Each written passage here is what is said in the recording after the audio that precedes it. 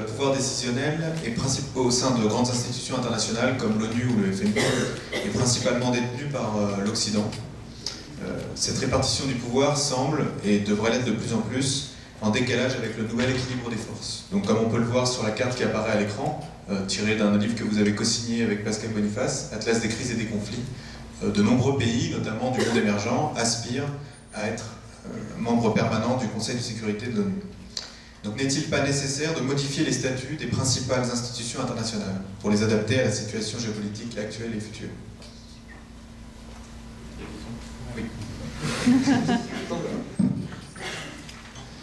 Pour modifier les statuts, euh, par exemple, de la, la Charte des Nations Unies, modifier la Charte des Nations Unies, qui a été adoptée en 1945 à San Francisco. Il faut l'accord des membres permanents. Ils ont le droit de veto. Et donc on dit que la France est tout à fait pour l'élargissement depuis des années. Hein. Elle dit c'est évident qu'il faut l'Inde, c'est évident qu'il faut le Japon. Euh, euh, alors l'Europe c'est plus compliqué, est-ce qu'il y a un débat, est-ce qu'il faut mettre l'Allemagne ou un seul siège pour toute l'Europe? C'est un autre débat. Euh, Brésil, bon. Mais les Chinois disent qu'il n'en est pas question. Les Chinois refusent qu'on mette l'Inde et le Japon.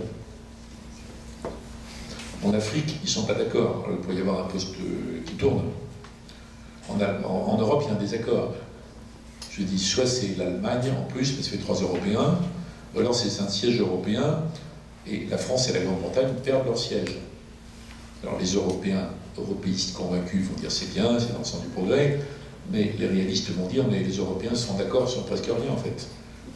Ils sont d'accord sur la paix, le développement, la démocratie, euh, tout ça, mais sur des sujets concrets, ils ne sont pas d'accord. Euh, donc si on fait ça, on a un, représentant européen qui s'abstient tout le temps. Enfin, le blocage n'est pas. Et puis les États-Unis ne sont pas prêts à changer. Donc la réponse à comment on change, c'est on n'y arrive pas. Même quand Kofi Annan, qui était un très bon secrétaire général, euh, avait fait tout un travail à l'avance pour préparer ça. Vous voyez, il faut, se rappeler que les deux fois où il y a eu une, une organisation du monde, ou une prétendue organisation du monde, c'est après des guerres mondiales, et c'est les vainqueurs qui ont tout décidé. Quand on est après la Première Guerre mondiale, euh, Clémenceau, le président Wilson, Lloyd George, à Versailles pendant six mois, Versailles et Paris pendant six mois, se disputent sur 36 sujets, mais à la fin, c'est eux qui décident. Il va y avoir des dizaines de délégations à Paris, ils décident, tous les trois. Ça donne la Société des Nations. Et comme le président Wilson n'est pas suivi par son opinion, euh, le Sénat, qui est isolationniste, euh, mais il s'en retire. Vous avez les années 30.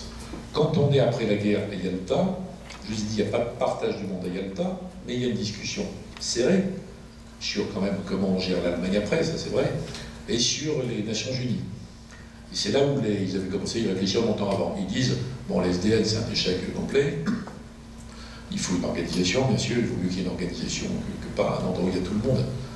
Euh, mais pour que ça marche mieux, il faut un, un organe à la tête, quoi, le Conseil de sécurité. Il faut évidemment les grands pays. Et alors on est à Yalta, donc euh, Saline, il y a forcément l'URSS, oui bien sûr.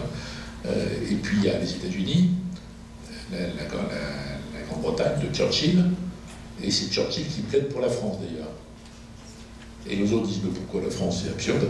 Euh, la France est un pays vaincu depuis 40 et il s'est écroulé en quelques semaines complètement. Le vrai drame de la France, c'est pas les Vichy et compagnie, hein. c'est l'écroulement de la France en quelques semaines, en mai-juin. C'est sans précédent dans l'histoire de France. Il faut remonter au pire moment de la guerre de 100 ans, et encore. Donc aux yeux de Roosevelt et, euh, Staline, ça ne compte plus, même s'il y a De Gaulle. Mais Churchill plaide avec beaucoup d'intelligence, parce qu'il veut, euh, il a la trouille si après la guerre les Américains repartent. Et lui, il a peur de la revanche allemande, en fait, Churchill. Donc il raisonne à l'ancienne, mais ça rend service à la France finalement. Donc la France se retrouve un membre permanent, puis à la Chine, qui est à l'époque celle de Chiang Kai-shek, qui deviendra celle de, Mao. Ils donnent leur accord là. Et à ce moment-là, l'un d'entre eux, je ne sais plus qui, dit mais on va quand même pas euh, laisser l'Assemblée générale voter n'importe quoi. L'Assemblée générale, c'est 49 pays. Aujourd'hui, on a 200. Hein. Donc les 49 votent. Oui, très bien, mais il y aura un veto. On met le veto. Et ils disent, parce que s'il n'y a pas de veto, on n'y va pas.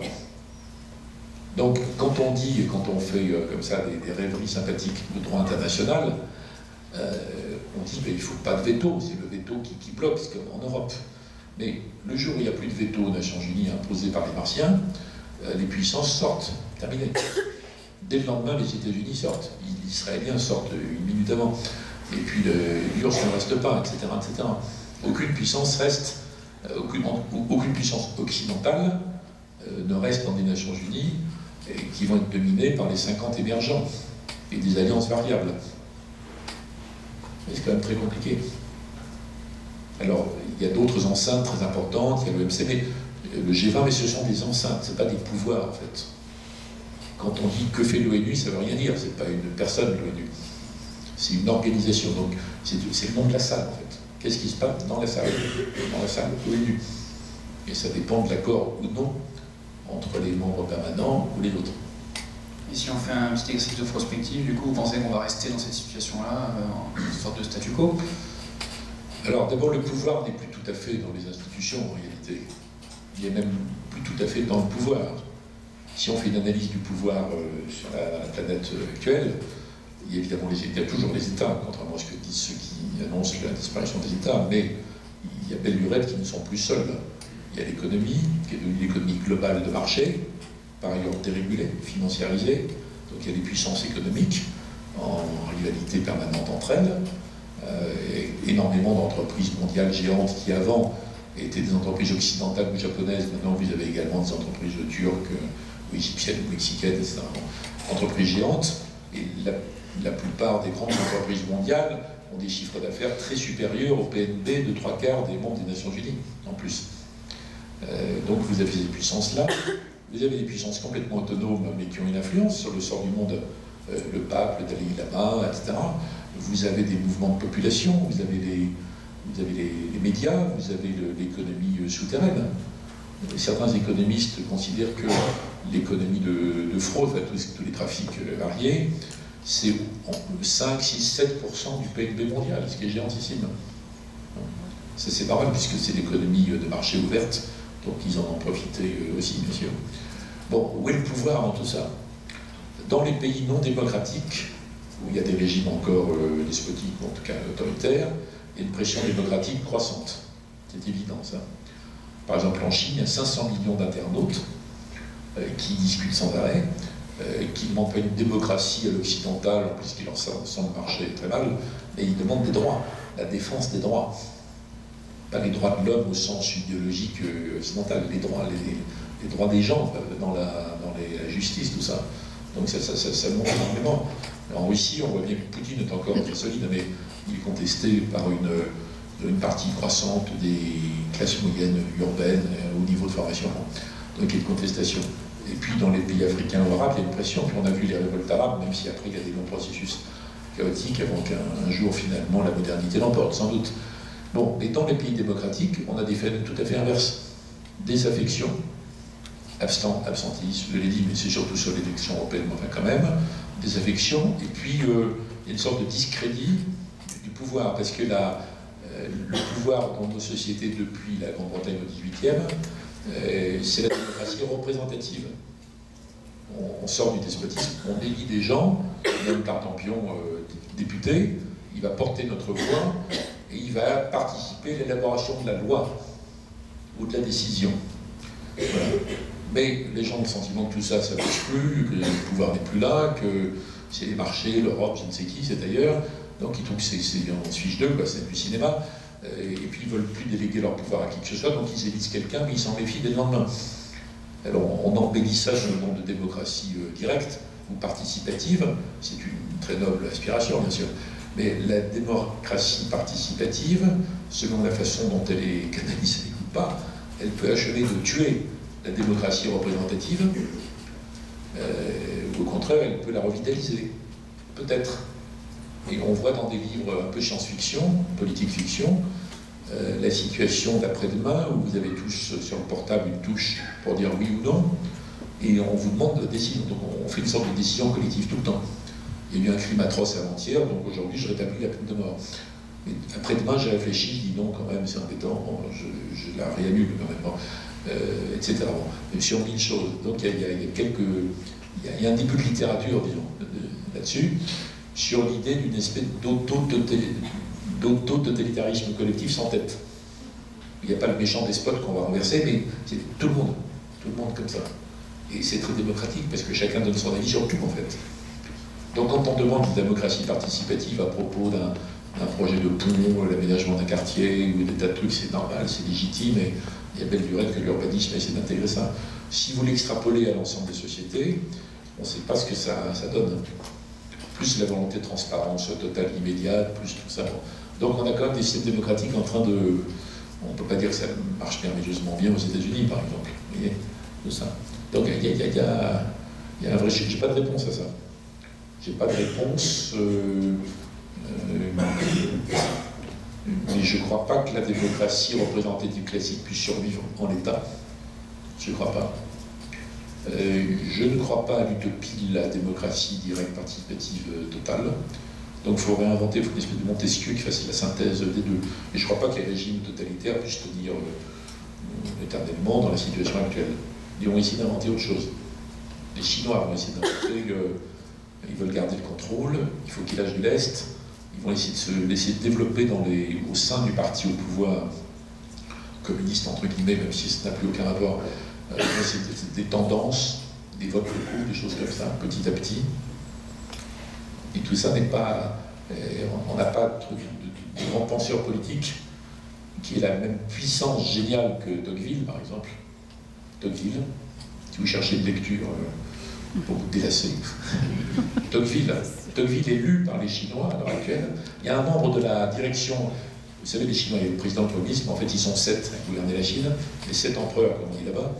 Et il y a l'un d'entre eux qui a dit aux autres, vous avez sacrément intérêt à lire Tocqueville sur l'ancien régime et la révolution.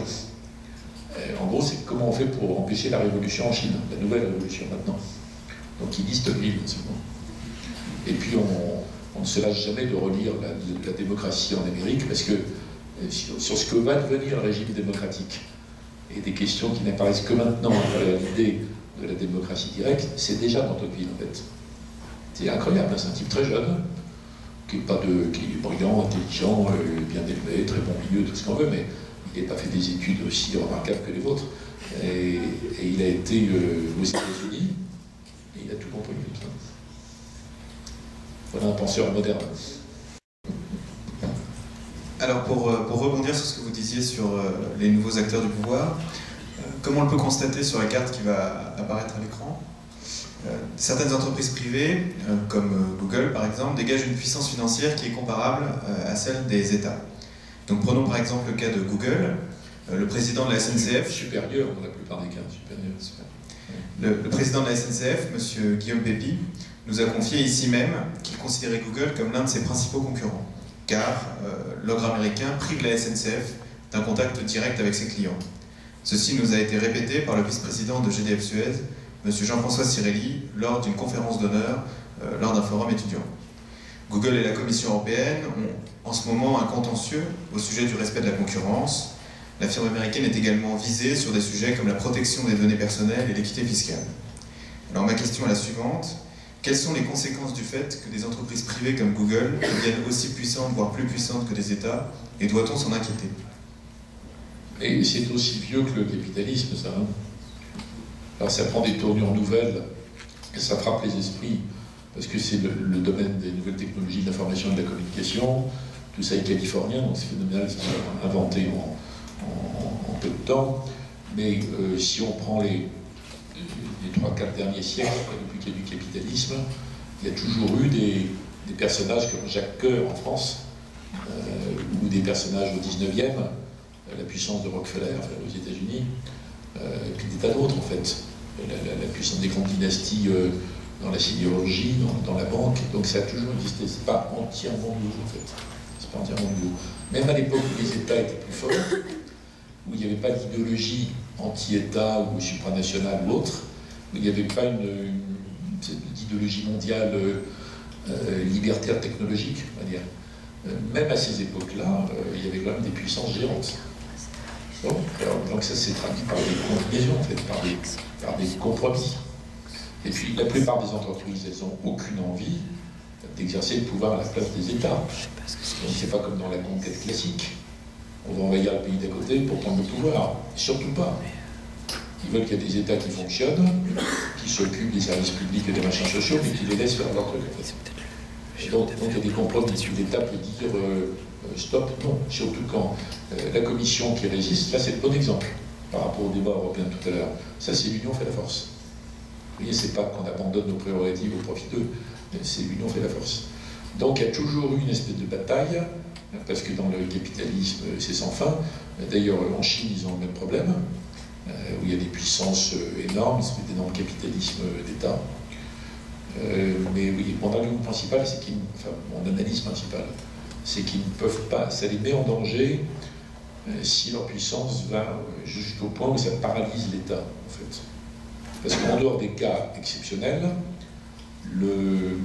l'entreprise, elle a besoin de stabilité, elle a besoin de clarté dans les règles, de prévisibilité fiscale, elle a besoin d'une justice qui fonctionne clairement sur la question du droit des affaires, c'est ça dont elle a besoin. Et de dégager éventuellement des profits géants si ça marche. Mais euh, prenez LVMH euh, ou L'Oréal par exemple. Euh, ils n'ont pas du tout intérêt à ce que les États soient affaiblis. Ils n'ont pas besoin de combattre par rapport à ça. Ce n'est pas du tout leur intérêt. Donc il y a quelques cas particuliers dans le domaine des, de, de l'information et de, de tous les, géants actuels, quoi, comme Google, comme euh, Microsoft et tout ça.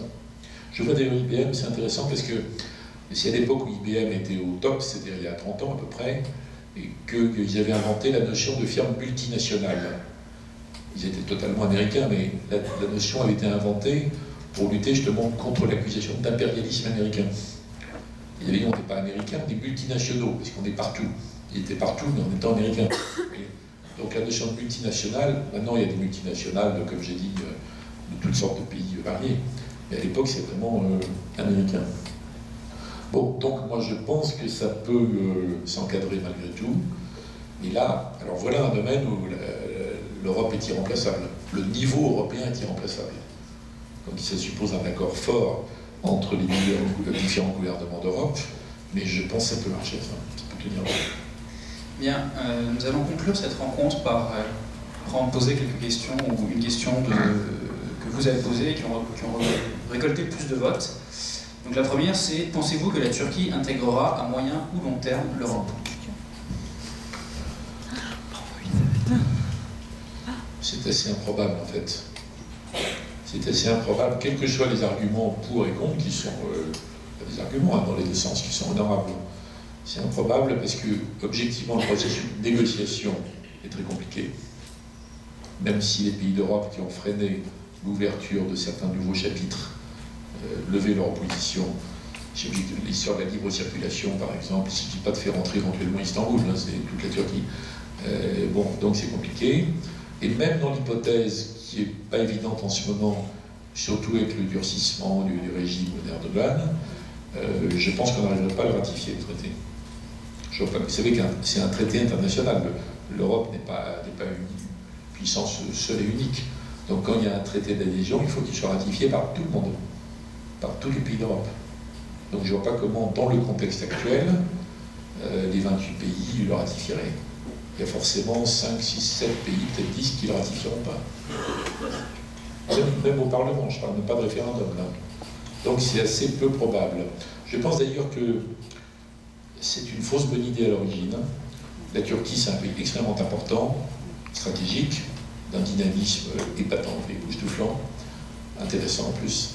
Mais c'est évident que ce n'est pas automatiquement un pays européen. Quand les rédacteurs du du traité de Rome, quand ils ont dit que l'Union européenne, enfin la communauté à l'époque était ouverte au pays démocratique d'Europe, ils ne pensaient pas à ça du tout, ils pensaient à la, Pologne, un jour quand ça serait possible.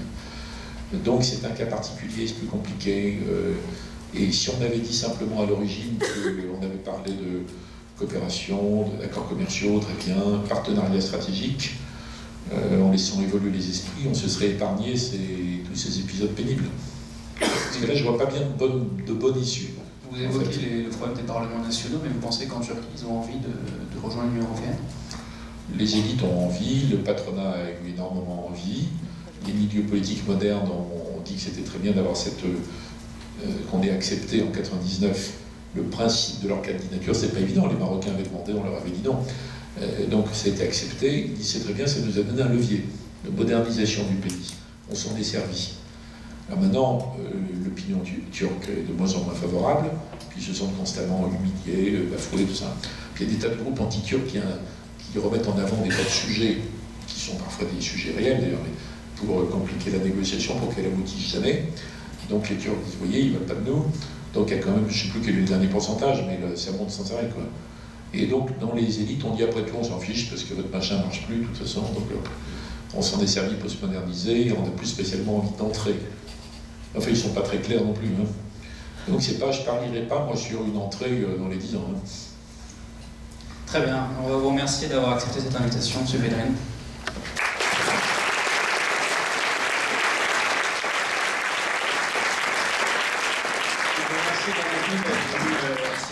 à cette, rencontre et on vous invite donc à partager un cocktail euh, en salle des colonnes. Vous pouvez suivre le fléchage.